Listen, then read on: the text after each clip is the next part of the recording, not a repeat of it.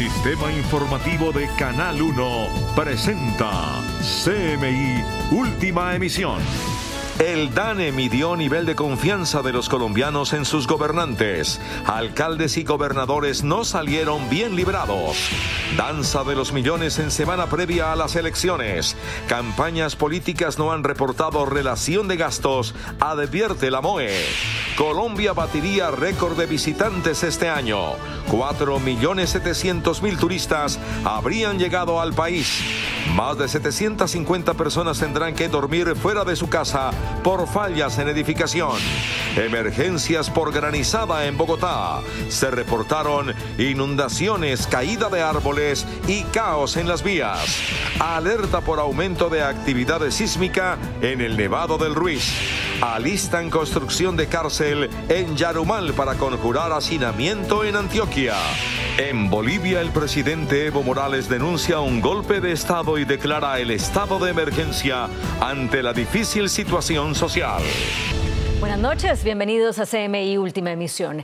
El DANE reveló preocupantes cifras sobre la confianza de los colombianos en sus gobernantes locales. Más del 75% de los colombianos desaprueba la gestión de sus alcaldes. Solo el 23% de los colombianos mayores de 18 años, si estuvieran poniéndole una nota a los alcaldes, le ponen 4 o 5. Si tenemos instituciones cada vez más transparentes, pues tendremos cada vez más confianza. En el caso de los consejos, la cifra es aún más preocupante y la desconfianza o desaprobación supera el 80%. Solo el 19.3% dijeron que le ponían 4 o 5. Desconfío de ellos en su mayor parte porque muchas veces tienen un programa de campaña y cuando llegan al poder se olvidan de lo que prometieron y se centran en cumplir favores políticos. Y concejales porque tampoco han apoyado ideas buenas que puedan cambiar la ciudad. Este jueves se conocerá el reporte con el total de las entidades del Estado. La misión de observación electoral MOE expresó su preocupación por la financiación de algunas campañas políticas con supuestos dineros mal habidos. La directora de la MOE, Alejandra Barrios, advirtió que más de 100.000 candidatos no han reportado sus gastos de campaña ante el Consejo Nacional Electoral.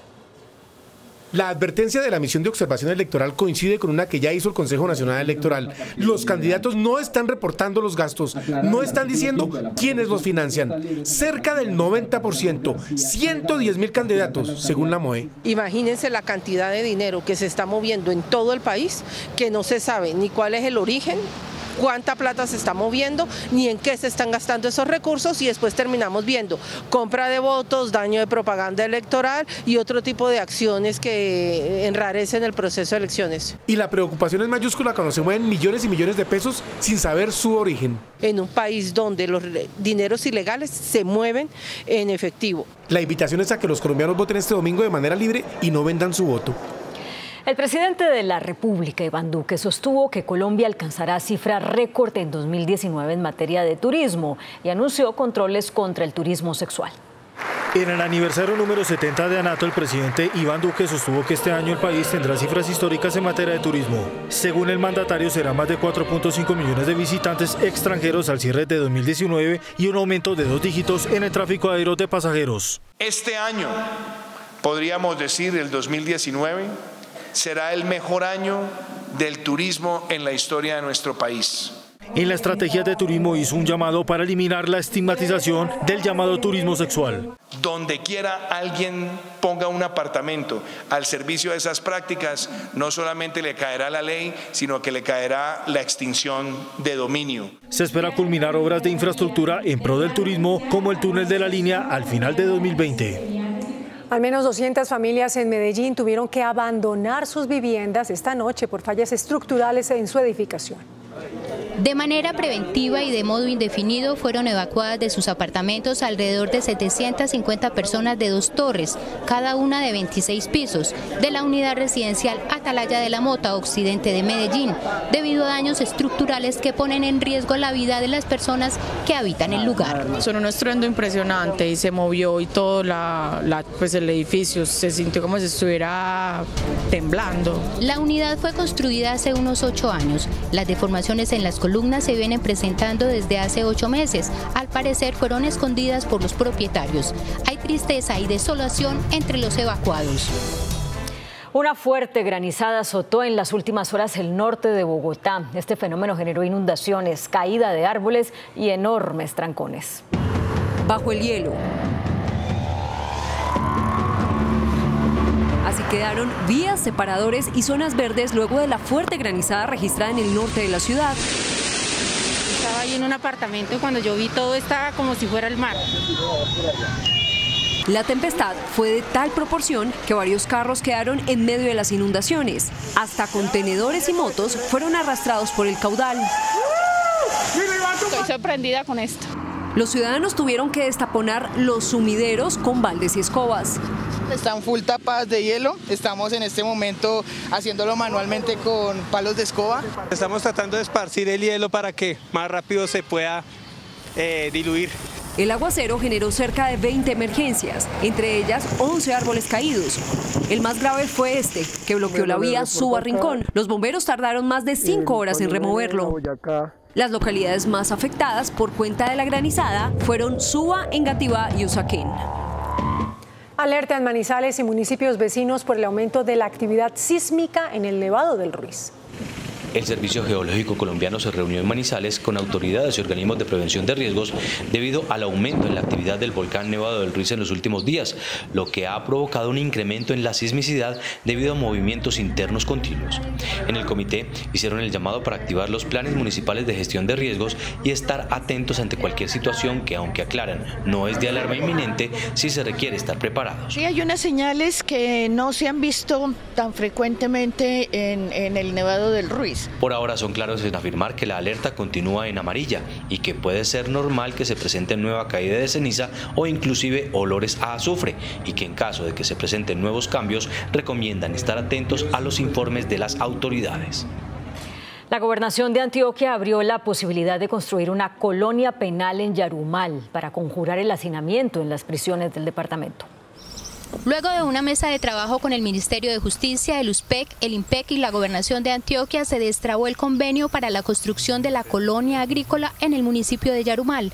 Se hará un nuevo estudio de sismoresistencia en el predio de 40 hectáreas, donde operaba el seminario Cristo Sacerdote. Hay un otro sí que la gobernación va a adicionar 1.400 millones eh, distintos a los que ya tenemos para asumir los nuevos diseños que se van a hacer ahora que, que ajustan la granja a las expectativas del nuevo gobierno. La construcción iniciaría a final del año y estaría lista a principios del 2021 con tres años de retraso. El USPEC debe aprobar los diseños técnicos. Se va a hacer por fases, eh, va para 1.430 cupos, tanto sindicados como penados. La inversión para la colonia agrícola de Yorumal es de 62.350 millones de pesos. El Ministerio de Justicia aporta 48.350 millones. La Gobernación de Antioquia y la Alcaldía de Medellín 7.000 millones cada una. El Ministerio de Educación prepara cambios en el programa de atención escolar PAE para mejorar los estándares de calidad, por lo que prohibirá el suministro de algunos alimentos y bebidas. Los nuevos lineamientos técnicos y administrativos del programa de alimentación escolar PAE figuran en el borrador de una resolución que tiene lista el Ministerio de Educación. En el documento se deja claro que todos los estudiantes de la jornada única, tanto en escuelas como colegios rurales o urbanos, tienen derecho al PAE. Precisa que los nutrientes y cantidades aportadas deben suplir las necesidades diarias de energía de niños, niñas y adolescentes durante la jornada escolar y advierte que no se permitirá en ningún caso la planeación y entrega de productos de paquete altos en sodio, bebidas azucaradas como gaseosas y jugos en caja, así como el uso de caldos concentrados. El borrador de la resolución está publicado en la página web del Ministerio de Educación para recibir comentarios y realizar ajustes antes de su expedición. Precisamente hoy el procurador Fernando Carrillo emitió una directiva exhortando a gobernadores y alcaldes a que prioricen la contratación del PAEP de tal manera que entre en funcionamiento sin complicaciones en 2020. La ministra de Trabajo, Alicia Arango, reveló que el presidente Iván Duque les prometió a los líderes sindicales que las reformas laboral y pensional solo serán presentadas al Congreso el año entrante si hay un acuerdo entre empresarios y trabajadores en la mesa de concertación laboral. El presidente Iván Duque les dijo a los representantes de las centrales obreras que solamente por concertación su gobierno presentaría las reformas laboral y pensional el año entrante. Hay mucho ruido que no tiene que ver con la realidad y que en la medida que hagamos más ruido, pues le vamos restando importancia a la mesa de concertación, que es donde se deben tomar las decisiones. Los dirigentes sindicales celebraron el anuncio del presidente Duque. Se ha comprometido a que si es necesario, él participará en las eh, reuniones de la Comisión de Concertación. Es que así debe ser. Entonces, si así debe ser, ese tema lo debíamos haber seguido dando en la Comisión de Concertación. El próximo martes será instalada la mesa de concertación laboral y salarial y se abrirá así paso a la discusión de las reformas pensional y laboral. En septiembre, la confianza comercial registró una leve reducción según Fedesarrollo. En el noveno mes del año, el índice de confianza comercial fue de 27,4%. Esta cifra representa una reducción de 1,7 puntos frente a agosto, cuando el indicador se ubicó en 29,1%. Respecto de septiembre de 2018, se evidencia una reducción de 1,2 puntos desde el 28,6%. Por su parte, el índice de confianza industrial se ubicó en 11,5%, cifra que representa un incremento de un punto porcentual frente a agosto de 2019, cuando estaba en 10,5%. Respecto de septiembre de 2018, se evidencia un aumento de 7,7 puntos desde el 3 la Agencia Nacional de Defensa Jurídica del Estado solicitará la anulación del laudo que condenó al Estado colombiano a pagar 19,1 millones de dólares a la multinacional Glencore Prodeco. El pasado mes de agosto, un tribunal internacional le dio la razón a la multinacional que demandó la sanción que en el 2015 le impuso la Contraloría por 63 mil millones de pesos. Glencore eh, demandó a Colombia por eh, una sanción de la Contraloría General de la República con ocasión del eh, otro sí número 8 de una mina de carbón. Para la agencia, el Tribunal Internacional desconoció pruebas que demostrarían supuestas actuaciones engañosas de Glencore. Porque el Tribunal Arbitral desconoció irregularidades que demostraban que Glencore había tramitado de manera inadecuada es el otro sí que dio lugar al litigio. Según la agencia, se violó el derecho al debido proceso del Estado colombiano, lo cual justificaría la anulación del laudo. El codirector del Banco de la República, José Antonio Campo, advirtió de los graves riesgos de dolarizar la economía. Reiteró que la inflación tiende a retomar una tendencia a la baja. Dolarizar la economía sería bastante delicado, según el codirector del emisor, José Antonio Campo. Yo soy totalmente enemigo de la dolarización. Creo que una de las cosas buenas de Colombia es que hemos mantenido un sistema basado en el peso colombiano, una moneda propia. Recalcó que la inflación tiende a ubicarse nuevamente en la meta de 3%. Le hallamos tres meses en que se detuvo el, alza de la inflación. Creo que eso es lo que hay que resaltar. Reveló que el Fondo Monetario Internacional podría mantener la línea de crédito con Colombia al 100%. Que las reuniones de la semana pasada eh, en Washington eh, se abrió como una posibilidad interesante y señaló que un dólar entre 3.400 y 3.500 le parece competitivo. La reforma tributaria radicada por el gobierno ante el Congreso permitiría recaudar en 10 años más de 120 billones de pesos. De pasar tal como se radicó el proyecto de ley de financiamiento ante el Congreso, le permitiría un recaudo adicional al Estado durante la próxima década superior a los 122 billones de pesos. Solo en 2020, el impacto del recaudo adicional sumaría 11,4 billones de pesos distribuidos así. Por IVA plurifásico a la cerveza y la gaseosa, un billón de pesos. Por impuesto al consumo por venta de inmuebles superiores a los 918 millones de pesos, se dejaría un recaudo adicional de 300 mil millones de pesos. Por impuesto a patrimonios superiores a los 5 mil millones de pesos, el recaudo superaría los 800 mil millones de pesos. Por sobretasa al sector financiero, el recaudo sería de 300 mil millones de pesos. Por mayor crecimiento económico, 3,2 billones de pesos. Y por menor evasión y fortalecimiento y modernización de la DIAN, 3 billones de pesos. Hay una emergencia en Santa Marta. Un incendio de vastas proporciones consumió un hotel en el corregimiento de Taganga. El video grabado por un aficionado revela la magnitud de esta emergencia. Las llamas consumieron las 24 cabañas que hacían parte del complejo hotelero. Las autoridades investigan las causas de este siniestro. Diez personas fueron sacadas del lugar y llevadas a un sitio seguro. Durante el paro general de 48 horas convocado por sindicatos y estudiantes de Chile, hubo choques con las fuerzas de seguridad que intentaron dispersar a los manifestantes que se dirigían al Palacio de la Moneda. La cifra oficial de muertos se elevó a 18. Un niño de cuatro años se encuentra dentro de la cifra de víctimas fatales. Y el presidente de Bolivia, Evo Morales, se declaró ganador de las elecciones pese a las acusaciones de fraude y señaló a la oposición de orquestar un golpe de Estado.